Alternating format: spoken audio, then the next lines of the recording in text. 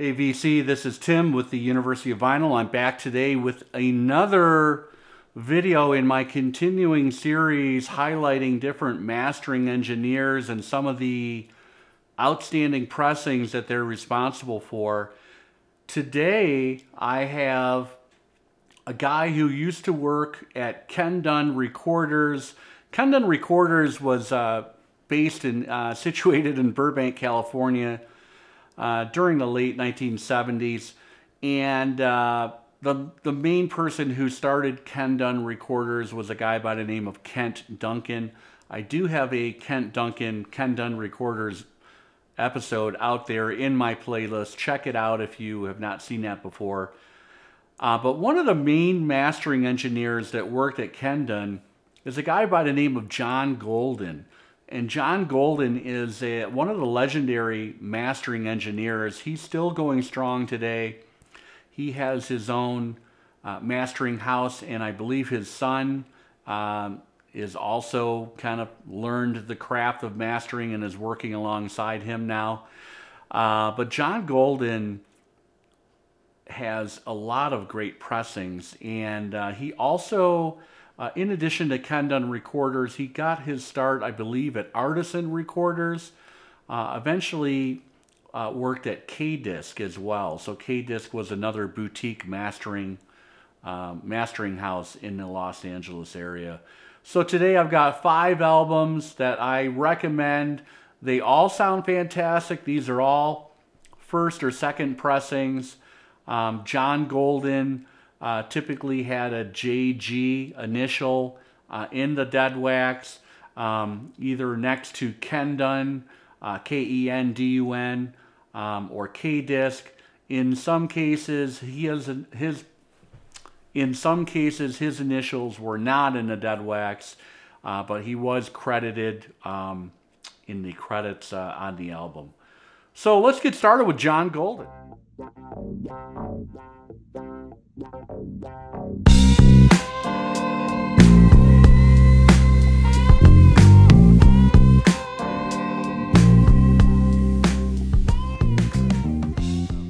forgot to mention John Golden uh, played a very important part in the early to mid 1980s, the whole punk movement.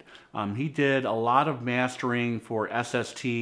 Um, you know, the famous producer at SST uh, was Spot, and he worked alongside Spot quite a bit um, and tried to clean up those recordings as best as possible. The, the issue with a lot of the SST recordings, uh, you can listen to some Black Flag albums or Husker Du is another. Um, kind of murky, um, not real dynamic as far as um, mids and, and, and in some cases not enough bass. So there were issues, but John Golden worked to present the best possible uh, case that he could, working with the source material that he had. Uh, anyway, so that was just a little sideline. He had um, a lot to do um, with the mastering of punk albums uh, in the early to mid 1980s as well. In 1990, Neil Young decided to get back together with Crazy Horse and the resulting album that we got was the incredible Ragged Glory. This was uh, issued, of course, on the Reprise label, and that's a cover photo of, uh, of Neil Young's one of many barns on his ranch just out of Woodside, California. I'm not sure if uh, I don't think he's living there. I think he's actually he's living with Daryl Hannah just outside of Telluride, Colorado these days. Um, but anyway, Ragged Glory, what a fantastic return to form for Neil Young and Crazy Horse. Of course, uh, we hadn't heard from Crazy Horse since um, I think they were on that 1987 or 88 album uh, called Life. And that was just kind of a mediocre, middling album. I don't think Crazy Horse played on all of those songs and it's kind of a forgettable album. Um, but if we think about this incredible Ragged Glory album, um, there's that kind of alternative reprise label back in uh, 1990, that aqua and yellow. Um, you know, Neil Young had a huge return to form uh, in 1989 with Freedom, and Poncho um, from Crazy Horse, Poncho San Pedro, Poncho Frank Sampedro, played on most of Freedom, and um, of course he's with Crazy Horse. Um, although no longer with Crazy Horse, apparently he. Uh, one of the most incredible songs on this album is Love and Only Love. That's the 10 minute plus track on side two. Just a roller coaster ride um, with Neil. Neil's guitar, uh, he's got Old Black, of course, all over this album. And the rock steady backbeat uh, of the rhythm section of Crazy Horse. Um, you know, one of the one of the endearing things about Crazy Horse is it feels like a song or a groove could fall apart at any moment, but they managed to keep it together. And um, there's a shambolic nature to things, but when they get locked in on a groove, they're one of the most outstanding sounding um, emotional bands out there, and that is Crazy Horse with Neil Young. This pressing sounds fantastic. Uh, it is uh, a little pricey and not easy to find. Um, you know, 1990, we're, we're way into the CD years, and I'm not entirely positive how many copies of this were originally pressed. Um, you will see K-Disc in the Dead Wax um, and John Golden is actually credited in the uh, in the liner notes on the album. I think Ragged Glory is slated for um, one of Neil's you know audio audiophile quality reissues. So if you can't find this, I would imagine um, probably Chris Bellman will take the original master tapes and work on those and I'm sure that they would sound fantastic. But um, I will say that Chris Bellman probably has an easy job because this really sounds great. That is Neil Young and Crazy Horse, Ragged Glory, released in 1990. In 1981, the U.S. was taken by storm by that band from Down Under, Men at Work. It was the Business as Usual album that put Men at Work on the map in 81. Um, I recall seeing Men at Work with INXS opening in the summer of 82, I believe. It was a fantastic concert. Uh, this is a K-Disc mastered version with JG for John Golden in the Dead Wax. Um, relatively easy to find. Um, this has got an incredible soundstage on it. It sounds fantastic. Um, that was on the Columbia label, that red label. And uh, these are pretty easy to find for between 10 and $15. Um, I guess Men at Work in 1981 could be classed as a, a new wave band. And uh, I love Colin Hay. Uh, there are some great songs on this album, of course. Everybody remembers Who Can It Be Now. Um, my favorite track is on side two. And I think the song I'm thinking about is called Down by the Sea. Very, very dramatic, incredible, incredible lyrics. Um, there's a lot of saxophone on this album as well. I recall there being one of those uh, prototypical sax solos on, on Down by the Sea. Um, but this is a really emotional album as well. This is a good, good listen. Um, Men at Work, Business as Usual, mastered by John Golden at K-Disc.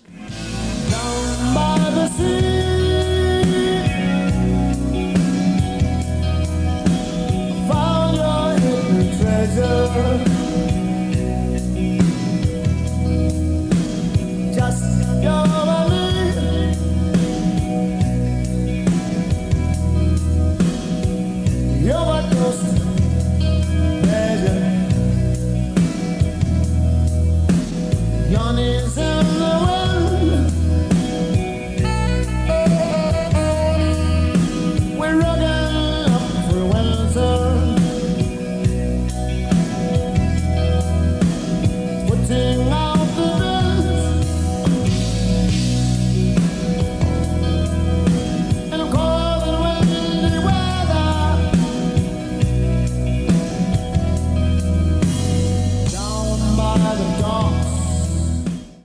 I was flipping through TV last night, and um, there's this stupid TV series on.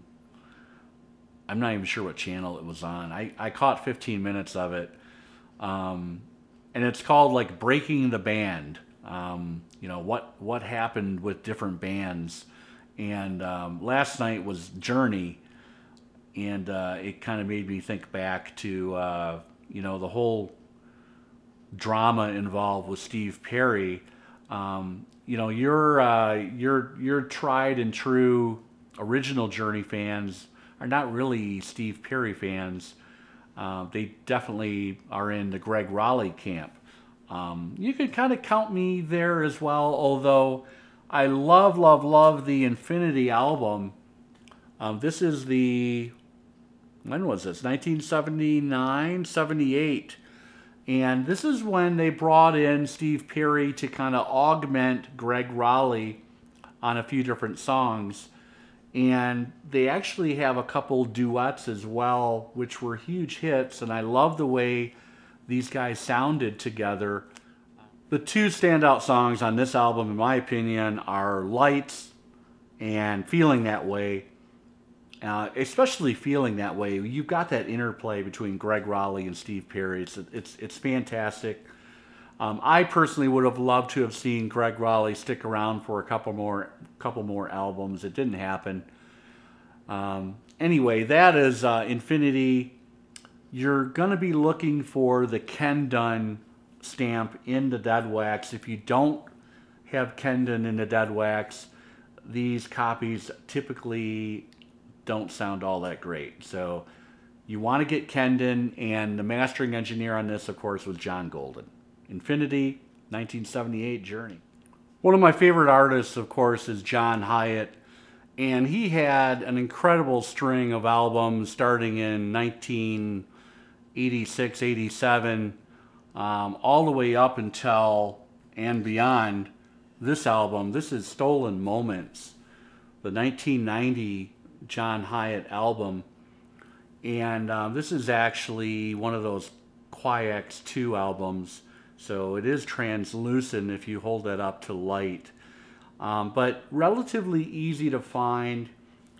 John Hiatt, uh, what, what, what can I say that I haven't already talked about on different videos about John Hyatt? Fantastic guitar player, fantastic songwriter extraordinaire. And um, you know, this was a very, very good follow up album. Um, this has got Real Fine Love on it on, uh, on side one. Child of the Wild Blue Yonder was a bit of a rave up song. And uh, Stolen Moments is uh, the title track. It's fantastic. John Hiatt is, a, is an emotional singer songwriter. Um, Real Fine Love ranks up there as one of his stronger songs. And um, I'm real pleased uh, that I found this album, I don't know, about six months ago. And you can, you know, I'd be shocked if you're going to be paying more than $15 for, for this album out in the wild. And it is, uh, it's on the A&M label. It has K-Disc stamped in the dead wax with uh, the initials JG for John Golden. That is uh, another fantastic sounding, there's several of them, uh, John Hiatt album. This is uh, Stolen Moments, 1990. You know, Jefferson Starship had an interesting run of albums in the 1970s, going into the 1980s. I kind of hopped off the Jefferson Airship train when Mickey Thomas joined the band. Uh, they had that huge Nuclear Furniture album, but um, this is kind of the last in the line. I, am calling this Marty Balin's Last Stand. Um, this is Jefferson Starship Earth from 1978. And um, there's two incredible standout songs on this album. Uh, Marty Balin, of course, is singing lead on those. Those are Count on Me and Runaway. Run, run, run away. Um, I really loved Marty Balin. I was sad, you know, he passed away two or three years ago now. And he has a really good early 1980s solo album that's easy to find as well. It was all over FM radio. Uh, the, the songs, the, the couple standout songs on that album are escaping me right now. Um, but Count on Me is a fantastic song. Later period Jefferson Starship before they kind of morphed into that MTV age uh, with Mickey Thomas.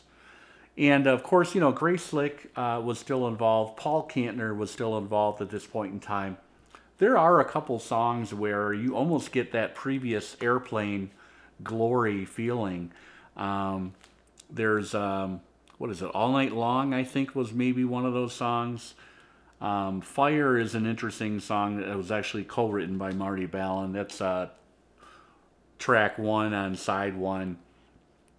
The copy you want to find for the best fidelity, great soundstage, um, has got Kendun in the Deadwax, K-E-N-D-U-N for Kendun Recorders. And right after that are the initials JG for John Golden. Sorry I'm getting a little bit of glare here today on this, but... Uh, that is Earth Jefferson Starship 1978. I'm calling it the last the last victory lap for uh, for Marty Balin with Jefferson Starship. That's a wrap. That is a video today highlighting five fantastic albums and great sounding pressings um, by the mastering engineer John Golden. John Golden, look him up on Discogs or AllMusic uh, or even maybe Wikipedia. Um, he is responsible for a ton of great sounding albums. There were some others that I featured already on my Kendun Recorders video, so I didn't want to do any repeats today. That is it. If you have not checked out the merchandise that I am now offering to help support the channel, I'm going to drop a link in the description below. And um, stop on by, pick up yourself a ceramic coffee mug, maybe a t-shirt. Um, and uh, any support is greatly appreciated. Please like and or subscribe if you're not already subscribed. Again, um, a lot of the YouTube people, we don't like to sound like broken records, but the more likes and subscriptions that we get, the better it is for more people finding our channel. It helps with that very, very mysterious YouTube algorithm. Maybe we should do a video about the YouTube algorithm. No, let's not. No. Take care, everybody. I will see you very soon. Bye.